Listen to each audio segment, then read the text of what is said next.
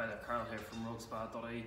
Okay, we are four hours into cleaning this lovely Kurdish rug um, and the four hours have predominantly been spent on dye testing for bleed, um, assessing the rug to see what sort of condition it's in and then back dusting.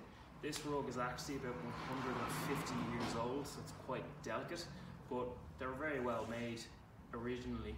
So we do have some pile degradation and pile loss here just from the amount of soil that the rug is holding on to.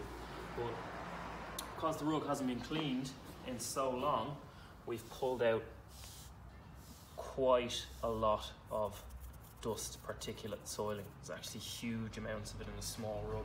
We're probably talking about two kilos of dry grit soil just in this rug, which we've used our back beating machine here to clean the rug with. So this machine actually, it's kind of like an old fashioned lawnmower in that it's, it's a cylinder with a spinner in it and attached to that spinner are leather straps and they essentially gently but very effectively beat the back of the rug to knock all of that grit soil out. That, that soil isn't removed from a rug, the rug is not clean. And that doesn't matter if it's a 150 year old Kurdish item or a two year old rug from IKEA.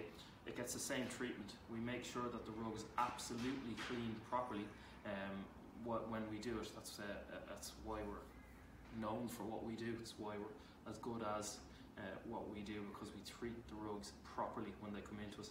So that's pretty much it. Thanks for watching the video.